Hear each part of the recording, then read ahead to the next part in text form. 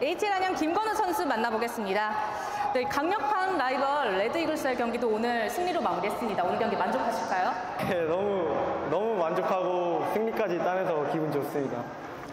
네, 이 몸싸움도 치열할 만큼 만만치 않은 상대였는데 경기 전에 선수들끼리 어떤 각오나 다짐이 있었을까요? 어, 이번 주 두 경기로 인해서 저희가 리그를 1등으로 우월하게 치고 나갈지 안 나갈지가 결정되기 때문에 어, 다들 집중해서 꼭 6점 따내자고 다짐했었던 것 같아요. 네, 오늘 김건우 선수의 결정적인 골로 이제 팀의 분위기를 반전을 시켰어요. 그때 그 상황, 골 넣는 상황 자세히 한 번만 다시 얘기해 주세요. 어, 정우 형이랑 종훈이 형이 forecheck을 열심히 가줘서 저한테 찬스가 올 수 있었다고 생각하고요.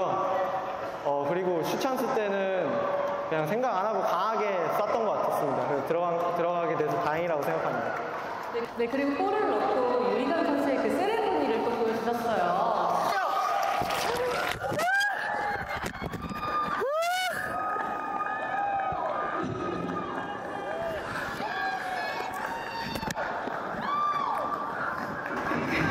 그 세레모니 한번 또 보여줄 수 있을까요, 지금? 유희관 선수 어딨지?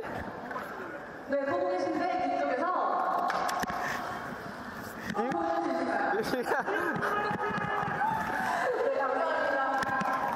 네, 마지막으로 우리 팬들에게 한마디 해주시죠. 아, 사실 저번 주에 건우데이 했을 때 승리를 하지 못해가지고 지금 제 표정이 저번 주 인터뷰할 때랑 이번 주랑 많이 다른 거 보이시죠? 아, 그래서 승리하게 돼서 너무 기쁘고 응원 와주시고 믿어주셔서 항상 감사합니다. 우승하도록 하겠습니다! 네, 이틀 안녕 김건우 선수 만나봤습니다.